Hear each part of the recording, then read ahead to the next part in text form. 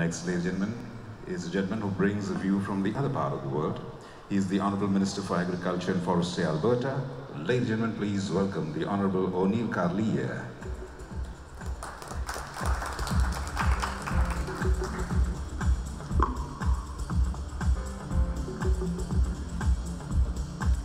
Honored guests, ladies and gentlemen, thank you for that kind introduction.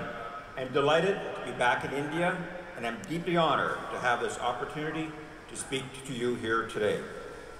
I'm pleased to be here along with several Alberta Pulse companies, including La Vida Commodities, Providence Grain, South Peace Grain, and Alberta Pulse Growers. These are some amazing companies that are eager to develop business opportunities with you. Representatives from Alberta have been fortunate to receive your hospitality on many previous visits to your beautiful country. And I'm pleased to represent Alberta's 40,000 farmers who have made it their lives work to produce a high quality food. On their behalf, I appreciate this opportunity to continue discussions about strengthening our trade ties with your nation. Alberta is grateful for our cooperative and mutually beneficial trading relationship with India. Last year, India imported more than $82 million of agri-food products from Alberta, and the potential exists for us to provide much more, from commodities like pulses and grains to expertise in a wide variety of agriculture processes and systems, such as animal genetics, food safety, and aquaponics. With Alberta farms covering more than 200,000 square kilometers, food production in our province far outstrips our domestic needs. As a result, our robust agriculture industry enables us to export food products all around the world. More than 2.4 million hectares of Alberta land produces oilseeds. Chief among those crops is canola, grown in all but 32,000 of those 2.4 million hectares. Our world-renowned canola makes the healthiest vegetable oil around, low in saturated fats, rich in vitamin E, and a great source of omega-3. Given that India is among the world's top three importers of, edi of edible oils, Alberta is ready to help supply your need. We also stand ready to help supply your nation with pulse crops. In fact, we are the world's largest grower and exporter of green peas and yellow peas and currently more than 70% of Alberta pulses are destined for the Indian market. Last year, Alberta farmers planted more than 930,000 hectares of pulses, accounting for about 10% of all crops planted. And we're increasing acreage and production of pulse crops, from field peas and chickpeas to lentils, faba beans, and dry beans, to satisfy the growing demand from world markets. We're also exploring new varieties and adding value to pulse crops. Because like you, we recognize the incredible versatility of pulses as a staple, but also as the foundation of many value-added products. Food processing is another growth industry in Alberta. Innovation continues to diversify our agri-food products. With more than 22 research and innovation facilities specializing in crops and cereals, poultry and swine research, agronomy, biomaterials, and food safety. We are continuously exploring how we can improve our production, prioritizing food safety, and creating products to tantalize palates around the world. I never cease to be amazed by the innovation and quality of the research going in on at these world-class facilities, like our AgriValue Processing Business Incubator at our Food Processing Development Center. This business incubator is a food production commercialization, facility that is unique in Canada. Alberta has a wealth of expertise to share when it comes to a variety of agriculture processes, including animal genetics, grain storage, seed, soil, and water management. We can offer expertise in processing technology, as well as biotechnology, energy efficiency, environmental protection, food packaging, and food safety practices. I'm also the Minister for Forestry, and why I would be remiss if I did not talk about Alberta's dynamic forestry sector. Alberta has over 32 million hectares of forest that represents 31 million cubic meters of renewable timber. Our sustainable forest management system offers opportunities for wood products such as wood pulp and lumber that would be ideal for the Indian market. With a resilient economy, excellent infrastructure, and business-friendly environment, Alberta is an ideal destination for Indian investment. Our agriculture and agri-food sector welcomes international investment. Alberta offers a welcoming business climate. We have a business-friendly regulatory climate and one of the most competitive business tax regimes in Canada. No provincial sales tax, no provincial capital taxes, and no payroll taxes.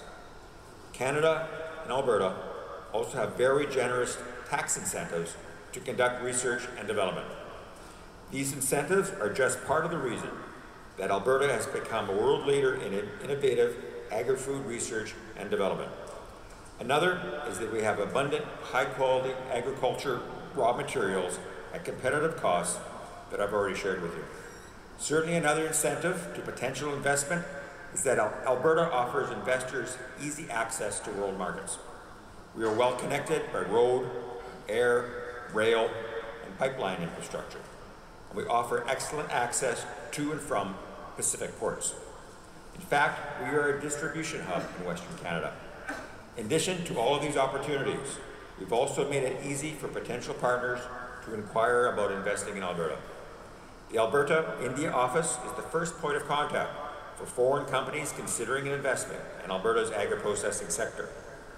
They can answer your questions about establishing a business in Alberta and provide guidance about taxes, employment, regulations, and business matchmaking services.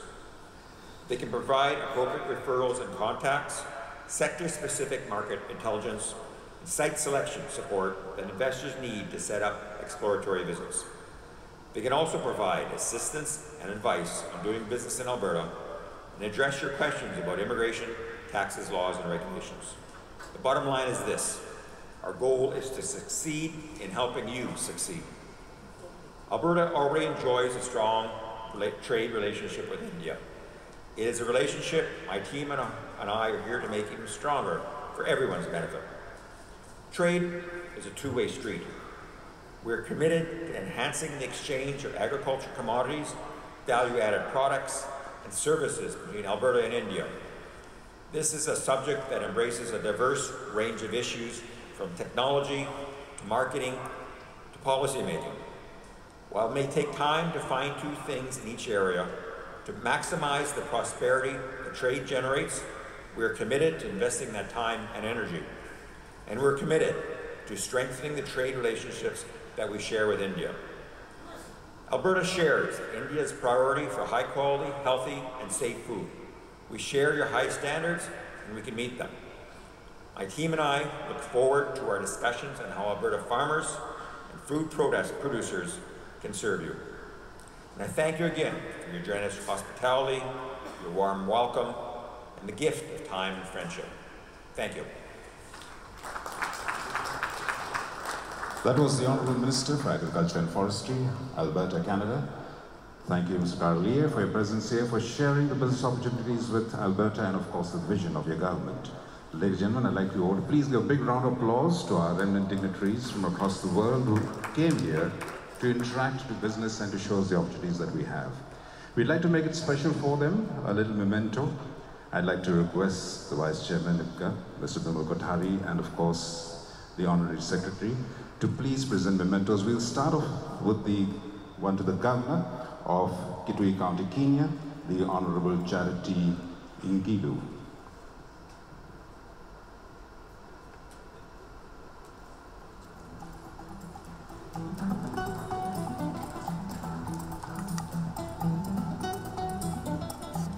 Wonderful.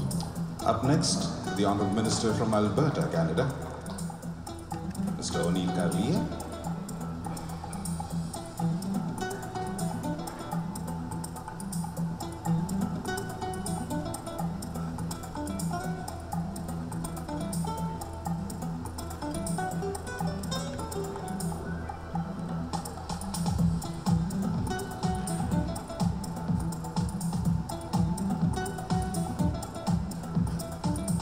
of course, the big man, of the Pulses Trade, to the president of the Global Pulse Confederation, Mr. Hussein Arslan,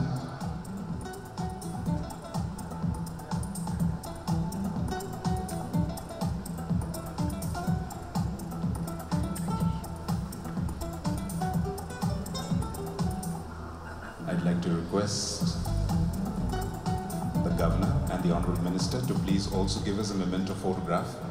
Can we have a memento photograph with everybody right in front? Yes, uh, Mr. Arslan. This, this goes into our publication and uh, makes it very special. Come, ma'am, if you could join us. Once again, ladies and gentlemen, a very, very eminent panel. The Governor, Kitui County, Kenya, the Honorable Charity Ngilu, the Honorable Minister for Agriculture and Forestry, Alberta, Canada, Oneil Cartier, Carlier, and of course,